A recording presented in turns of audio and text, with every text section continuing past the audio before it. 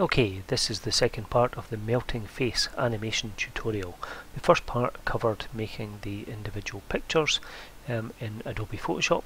Now we're going to import the file into Flash and animate it.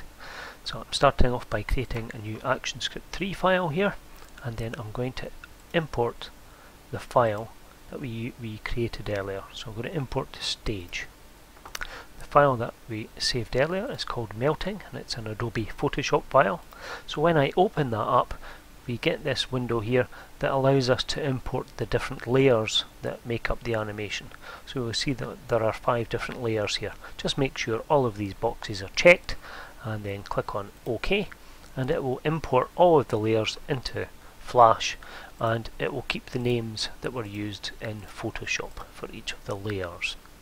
Okay, so we wanted to the animation to start off with the background image. So we're going to keep the background image on layer on this layer in frame number one. But the next image we want to appear um, a few milliseconds later. So what I'm going to do is just select frame number one in the pick layer, pick one layer, and then I'm going to hold my mouse pointer down and drag it along to frame number five. Now I'm going to do the same for each of the other layers. I'm going to select frame number one first of all and then hold the mouse down and drag it along this time to frame number 10.